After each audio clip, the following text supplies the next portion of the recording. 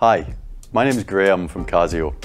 Today we're going to run you through the Bluetooth options that are provided by this little device, the WU-BT10, which is compatible with our new Casiotone products, CTS1, CTS400 and the LKS450. When this device is connected to these new products, it will provide you with Bluetooth audio and Bluetooth MIDI options. So let's take a look at exactly how this device works. First of all, make sure the instrument is turned off. Then we can insert the Bluetooth dongle into the USB to device port. Now we can turn the instrument on. And I can activate the Bluetooth on the settings on my mobile device. The factory preset is that the Bluetooth function is on as soon as the Bluetooth dongle is plugged in. But in order to establish the coupling with the tablet or the smartphone, I have to press function plus G sharp and we can now hear a repeating signal which signals that the connection to the device can be established. I'll then select WU-BT10 audio and the signal icon indicates that the devices are now connected to one another. Now that the connection has been established, I can show you the most common Bluetooth function, and that's the audio playback. With the audio playback function, I can play along to the songs that are being transmitted from my device. So that means that I can hear the songs from my device playing through the built-in speakers and can easily play along to them. So now I'll switch to my audio player and we can start playing the song. And the sound you're now hearing is coming from my device and is being played over the built-in speakers on the instrument. And we can now start to play along. And another really cool feature is that the CTS1 can also be powered by batteries. So I have this function available to play anytime and anywhere. And there are even more uh, great Bluetooth audio functions available in our Chordana Play app. And these functions allow you to customize your practicing and your playing to make it a lot more interesting and a lot more fun for you. Okay, so let me close our audio app. We'll open the Chordana Play app to show you just some of the functions available. So we'll select audio mode.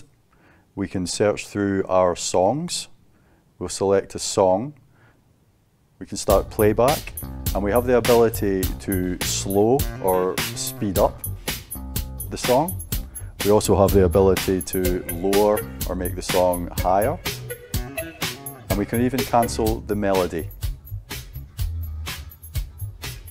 So that's just some of uh, the ways that you can customize the settings. The audio function is by no means all that the Bluetooth dongle can enable. It also allows for the possibility of MIDI data transfer which opens up a whole world of possibilities with regards composing, uh, the use of learning apps and so on. So really the possibilities are endless. So to activate the Bluetooth MIDI function, I go into the Chordana Play app via the lesson mode. We go into settings. We look for our MIDI device. We can then connect, wait on our connect confirmation. We're now connected we come out of settings, we can then search for a song, and as an example, we'll use a reggae song in this case. Okay, and we can start the playback. Now what you'll see is the app shows me the keys to play. We can also view the piano notes. If we stop that, that's already a cool feature but what's also really cool is we have another fantastic function that can be used and it's called the score mode. So we go into our settings, we turn scoring on, we start our playback. And what's really cool here is when we try to play on the, the instrument, this will show when you're playing well and when you're making any errors, when you're pressing the wrong keys, which is another fantastic learning tool. Now with all of these functions, there's something important to note. The Bluetooth MIDI option must always be activated in the app itself and not just in the settings on your mobile device. That's really important. And of course, the Bluetooth MIDI option doesn't just function with our Chordana Play app, it also works with other apps that also enable Bluetooth MIDI option. Okay, so now I'll use my iPad to show you another example of a really well-known app that's also compatible with our MIDI Bluetooth function. So we go here, we open our app, we go into settings, we go into advanced, and then into Bluetooth MIDI devices. We then find our WU-BT10. We connect the dongle, and that means we've now established a connection between the app and our instrument.